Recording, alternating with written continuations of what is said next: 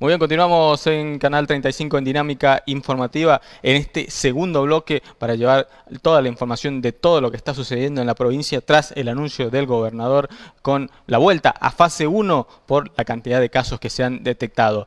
Y uno de los eh, motivos también que eh, generó mucha preocupación en Santa Lucía fue el aislamiento de eh, tres barrios en ese departamento y para ello estamos en comunicación con el intendente de Santa Lucía, Juan José Orrego. ¿Cómo le va, Juan José? José González lo saluda.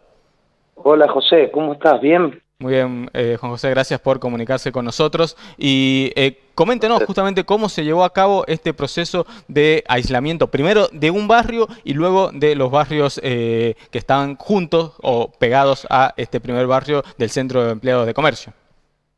Sí, la verdad que eh, desde el... Nosotros ya veníamos trabajando en un protocolo desde la municipalidad porque sabíamos y entendíamos y comprendíamos que en algún momento esto iba a a suceder. Queríamos que no sucediera, pero bueno, siempre teníamos que estar preparados ante esta eh, situación. Y bueno, desde la mañana muy temprano ya empezamos a trabajar en materia de desinfección de, y de sanitización del departamento en todo el eje de lo que es de este a oeste, sí. donde eh, lógicamente podíamos llegar a haber tenido contacto con algún eh, alguna persona que era de un departamento colindante al nuestro eh, que pudiera llegar a estar con, con COVID positivo.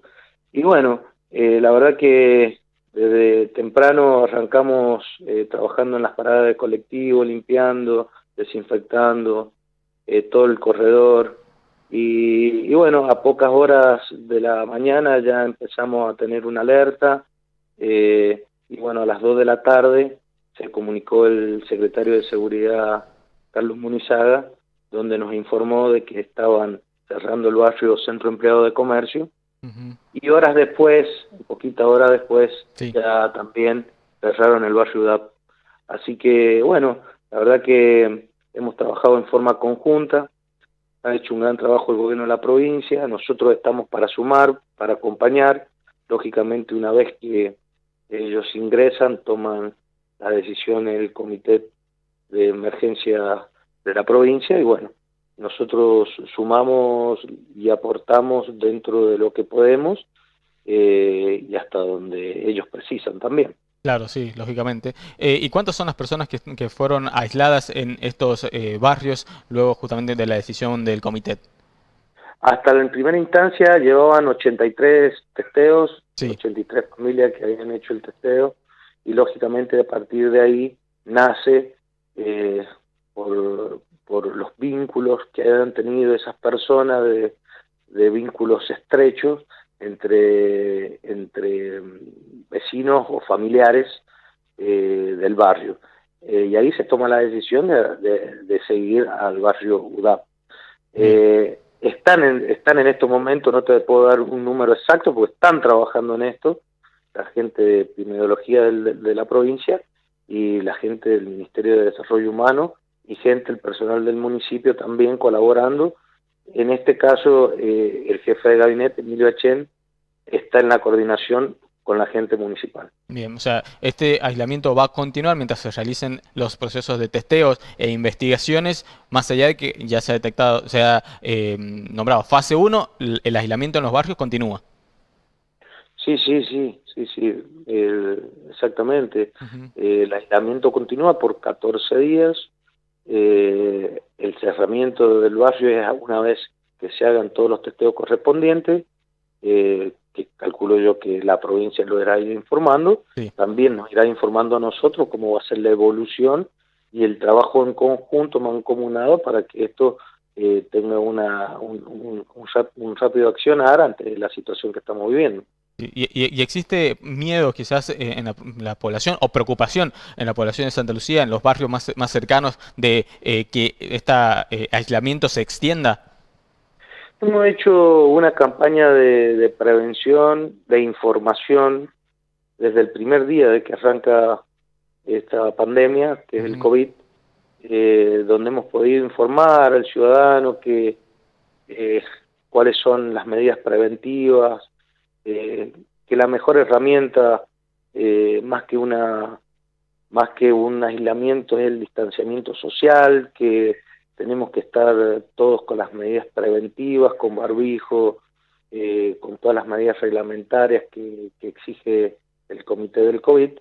Eh, y bueno, se ha trabajado informando, comunicando y lógicamente estando en la calle también eh, para ayudar y colaborar con cada uno de los vecinos.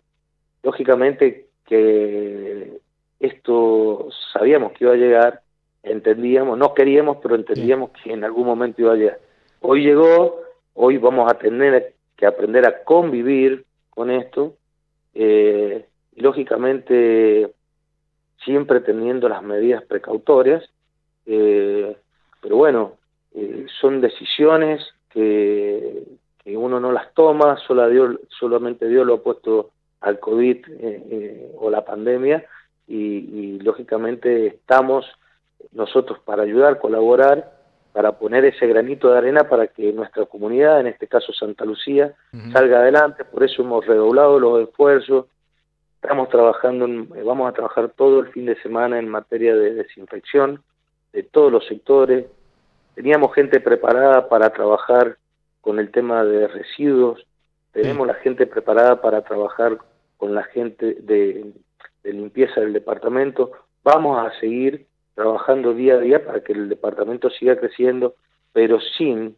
descuidar primero a nuestros compañeros de trabajo, cuidándolo mucho a ellos, dándoles todas las herramientas, todas las indumentarias y todo lo que ellos necesitan para que estén bien aislados de la situación y lógicamente eh, tratar de acompañar al gobierno de la provincia ante esta difícil situación que les toca vivir a ellos como a nosotros hoy acá en el departamento. Claro, sí. ¿Y cómo está eh, ayudando, asistiendo también eh, la municipalidad junto con el Ministerio de Desarrollo Humano a estas familias que han sido aisladas y, bueno, evidentemente no pueden salir de sus viviendas para hacer las compras diarias? Exactamente. estamos coordinando acciones. Hoy Seguramente dentro de un rato ya me pasará la información del jefe de gabinete que está trabajando en el lugar. Después coordinaremos acciones con el ministerio, pero llegado al caso también hemos tomado la decisión, ya estábamos, ya teníamos ya unas reservas y llegaba a suceder esto, donde hemos separado kits de limpieza, kits de saneamiento y también eh, kit sanitario y también eh, alguna ayuda alimentaria para cada una de esas familias que eh, no puedan salir a comprar. Así que bueno, lo vamos a articular en forma conjunta, eh, de una manera o de otra, pero siempre van a estar acompañados por este intendente y por este equipo de trabajo, cada uno de los vecinos del departamento. Y en especial este, estos vecinos que hoy están sufriendo esta situación. Exactamente. Cuando eh, comienza este, esta situación en Caucete, luego se traslada hacia los departamentos eh, cercanos, tanto San Martín, 9 de julio, 25 de mayo, eh, en estado de alerta, comenzó también la preocupación por Santa Lucía, por ser el departamento del Gran San Juan que está más cercano a estos departamentos del este. La preocupación la tuvimos desde el primer día. Trabajamos para que no llegara, sí.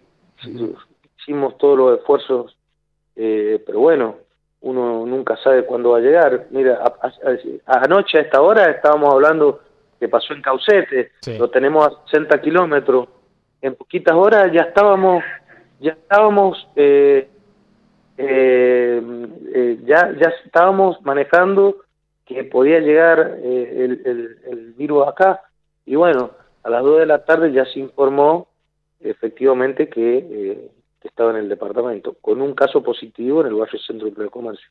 Bien, eh, bueno, le agradecemos entonces por la comunicación, eh, Juan José, eh, y estaremos atentos de cómo continúan estos rastrillajes y esperar justamente que no aumenten los casos positivos, que finalmente puedan ser controlados tanto en Santa Lucía como también en la provincia de San Juan. Por supuesto, la verdad que tenemos que trabajar en forma conjunta, todo el gobierno de la provincia, los municipios, pero fundamentalmente los vecinos, eh, tenemos que primero estar tranquilos, eh, darle la tranquilidad a los vecinos que vamos a hacer, créanme, todos los esfuerzos necesarios para que salgamos adelante. Pero el compromiso es, de todos, el compromiso de cada uno de los vecinos de tomar las medidas preventivas, de tener los aislamientos correspondientes, y si en el caso que tienen que salir a comprar, si tienen que salir a hacer algún trámite o algo por, por, por, alguna situación en especial, que tenga eh, la distancia correspondiente, que son prácticamente dos metros, para que lógicamente no tengamos más personas contagiadas de COVID. Así que de parte de mía decirle a todos que los, los, oyentes, a todos los sanjuaninos, que tenemos que tener fuerza, tenemos que tener esperanza, pero también ser respetuosos a la hora de proceder como, como persona, eh, cuidando al prójimo, que es fundamental, y bueno, decirle de parte mía a todos los santaluceños que voy a estar acompañándolos día a día, en cada lugar, en cada momento, ante cada situación que estemos viviendo. Bien, muchas gracias, Intendente. Buenas noches. Buenas noches, hasta luego. Muy bien, el mensaje justamente del intendente Juan José Orrego de Santa Lucía tras este aislamiento de estos dos barrios y obviamente la preocupación de los santaluceños ante eh, lo que pueda llegar a ocurrir con los nexos, con los contactos, pero eh, básicamente hay que quedarse tranquilo para mantener las medidas de prevención, principalmente que hoy se extreman nuevamente tras estos eh, casos y tras la vuelta a fase 1.